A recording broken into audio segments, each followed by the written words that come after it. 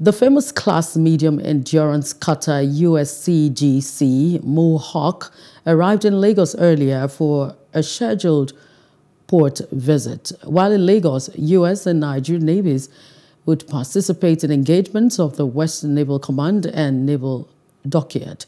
Mohawk will also host ship tours and a dinner reception.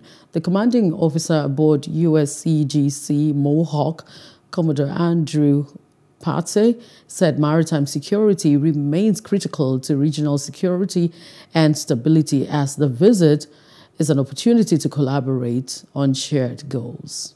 As we come to partner with our Nigerian colleagues uh, in combating piracy and, and working on interoperability here uh, in Nigerian waters as well as in the Gulf of Guinea.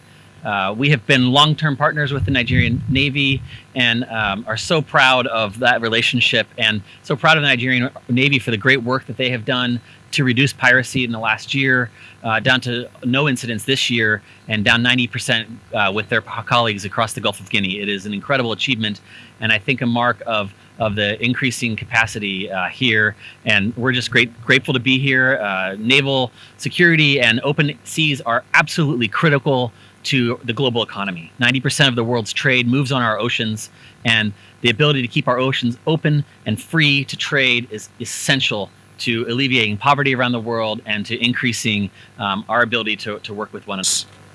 Our belief that security is everyone's responsibility, and uh, we're excited to be here in Lagos. As the Consular General mentioned, we'll be conducting discussions, we'll be performing exercises, doing training, and working alongside the Nigerian Navy. This is a collaborative effort.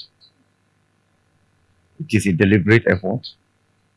It is a planned work due to the leadership of the Chief of Naval Staff, Vice Admiral Awwal Zubairu Gambo, that has put in a task and a timeline and followed up with proper guidance ensuring that we maintain close relationship with our foreign partners. And these collaborative efforts of maintaining presence at sea, with them always being around, have been able to lead us to the state where we are. Going forward, such collaboration will continue, and that is why you are seeing the Mohawk here today. Next week, there's a ship coming from India. In October, another ship will be coming from the UK. So we continue to have this series collaborative efforts of international partners working together with us to ensure the needed synergy in combating this scourge.